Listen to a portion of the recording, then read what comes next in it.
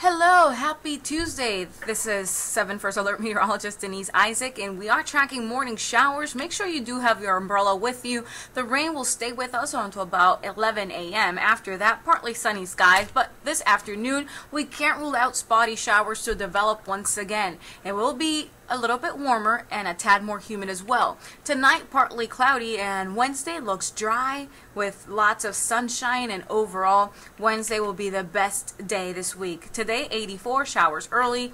By tonight, 64 partly cloudy and quiet and mild. Here's our seven day forecast. Wednesday, best day to run your errands because on Thursday we do get a good chance for rain as a warm front moves through the region, uh, leaving a chance for some strong to severe storms. Friday morning we'll have some spotty showers, 81. And for Saturday, Woodward Dream Cruise, we're looking at partly sunny to mostly cloudy skies, a high near 79.